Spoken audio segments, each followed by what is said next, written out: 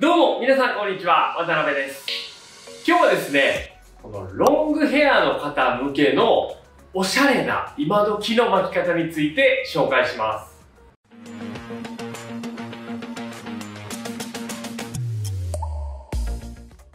はい、ということで、なんかこんな感じで、今ちょっとね、ゴムを3つ、まあ、全部で6本なんですけど、巻きつけた状態で、えー巻いていこうと思うんですけど、普通に皆さんこう、下ろした状態で巻くってなると、どこをどういう風に巻いたらいいかっていう、わからないっていう方もね、お客様だったりとかも結構ね、えーよく言われることなので、まあちょっと簡単にゴムでこの3つ、えー片サイド3ブロックですね、で、えーこういう風に巻いたら今時のちょっとおしゃれになるよっていうことを最近ちょっとお客様にもお伝えしてますので、まあ涼しくなってきて、えー巻いたりする方も結構いらっしゃるかなと思うので、えーこれから使える、えースタイリング方法になりますので、ぜひよかったら参考にしてみてください。それでは動画をどうぞ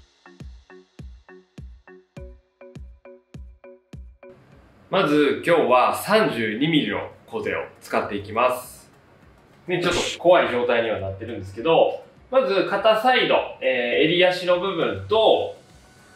あとサイドとね、バック。これサイド、耳後ろでサイドに分けて、あとバック。この3ブロックで、ここは襟足なんですけど、後ろの。この3ブロックで、えー巻いていきます。で、まず下から順に巻いていきます。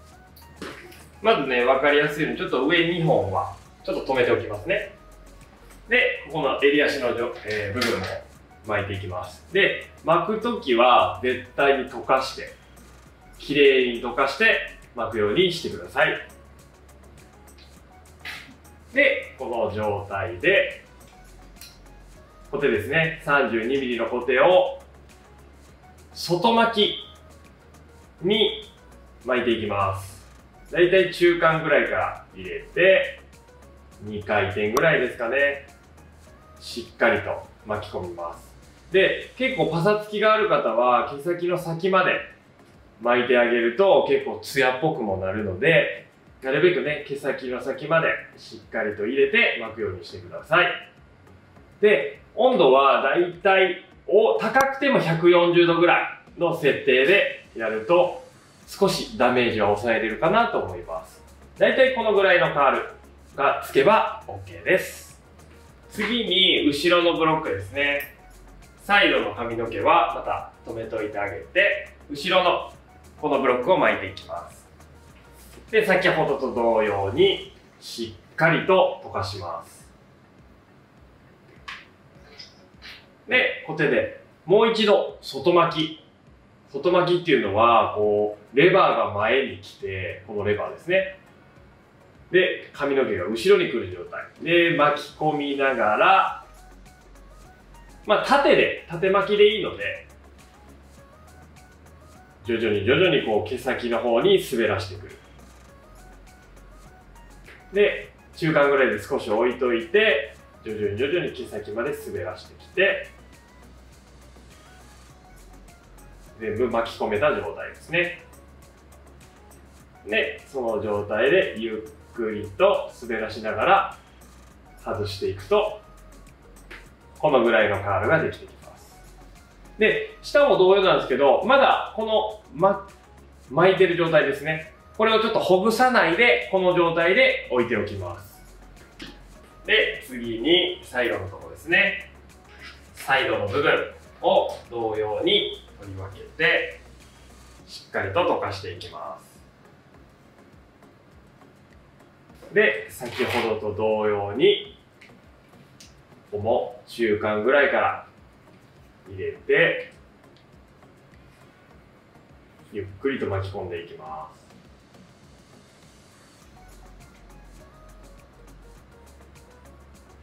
で、やっぱり中間結構ね、カールが強くついた方がいいので、毛先の部分は少し今残した状態で。で、徐々に徐々に毛先の方に滑らしてくるっていう感じです。で、全部巻き込んだ状態で、ゆっくりと滑らしながら外していきます。このぐらいのカールができてきます反対側も同様に同じ要領でやっていきます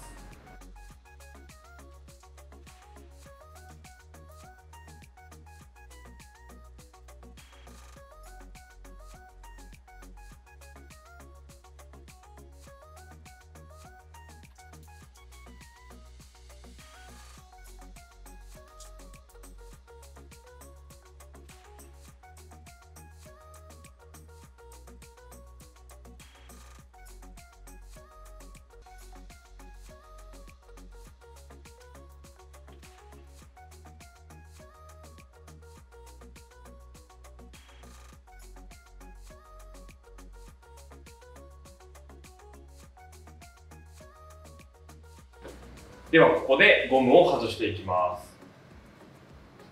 で外してもそのままの状態でまだカールは崩さないでおいてください。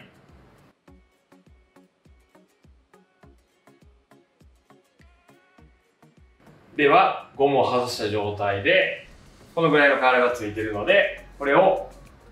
襟足の方から指を通しながらカールをほどいていきます。するとどうですかね。結構自然にカールがついてませんか？綺麗に。今まだほぐしてる段階であれなんですけど、まあ、この後に例えばオイルをつけたりとかあと、まあ、スプレーをつけたりとかして、まあ、スタイリングしていくといいかなと思います。ツヤが欲しい方。カールがね、こう巻いたカールが取れづらい方は、全然オイルとかをつけていただければいいかなと思うんですけど、カールが取れやすいっていう方は、やっぱりスプレーをこのままつけていく方がいいかなと思いますので、えっ、ー、と、まあ、取れやすい方はスプレー。普通にツヤが欲しい方、取れにくい方はオイルをつけてスタイリングをしていってください。でちなみにオイルのつけ方ですね。だいたいまあ4滴ぐらい出して、なるべく襟足の方からオイルをつけていきます。で次にまああのほどいていった順でオイルだったりとかをつけていってあげるといいかなと思いますので下から順にですね。で最後に表面の部分をつけてあげる。でこの時もつけながらちょっとカールをこうほぐしてあげるようにしてあげると綺麗に均等についてくれるのでツヤっぽく、えー、綺麗な質感に見えてくれます。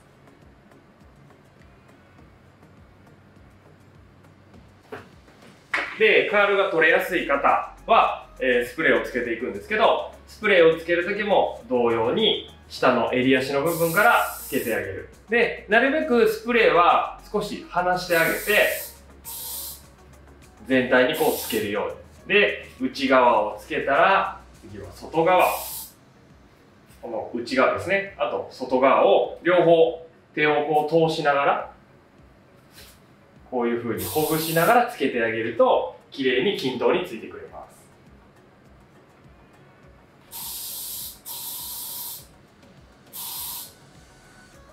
で、最後に表面ですね。表面も内側をつけてから表面をつけてあげる。であとは全体的になじましていきます。最後にブラシで溶かしていきます。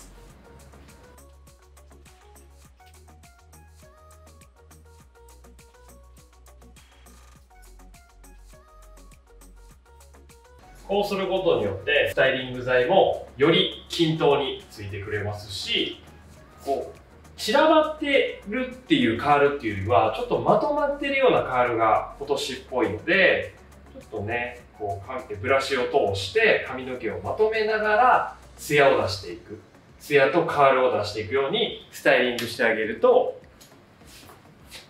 結構今年っぽくて、いい感じに決まるかなと思います。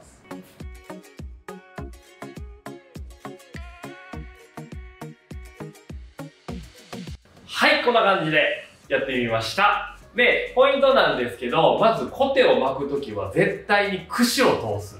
で串を通したから巻くことによってかなりツヤが出ますで、その次に、だいたい固定の温度なんですけど、今回はまあロングヘアの方なんで 32mm で巻いてます。で、温度は100度から140度。カールが取れやすいっていう方は140度でやるといいかなと思います。それ以上だと結構ダメージ、えー、出てしまうかなと思うので気をつけてください。で、えっ、ー、と、カールが取りやすい方は、あの、スプレーだけをバーッと振ってもらって、ブラシを通してあげる。で、えー、カールが取れづらい方だったりとか、あと、まあ、ちょっとツヤが欲しいという方は、オイルを先につけてからスプレーをつけてあげて、えー、ブラシを通してあげる。で、スプレーもあんまりこう、固めの、えー、バリバリに固まるスプレーだと、串とかブラシ通らなくなっちゃうので、少しハードな、えー、ハードスプレーぐらいで、えー、つけるようにしてください。で、その後にこう、ブラシを通してあげる。っていうのが、えー、今年のポイントかな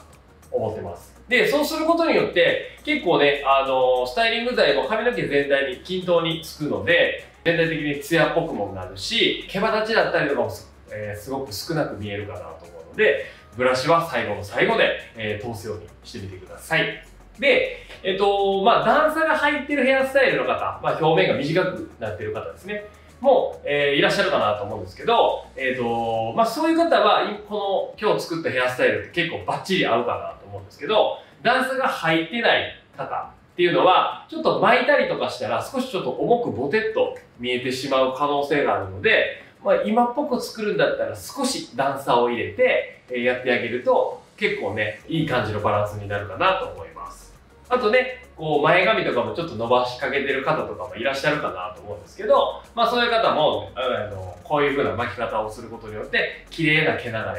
できるので、えー、よりおしゃれに今っぽいヘアスタイルになるかなと思いますので、参考にしてもらえたらなと思います。はい。この動画良かったら高評価ボタンと、あとチャンネル登録もよろしくお願いします。それでは皆さん、次回の動画でまた会いましょうさよなら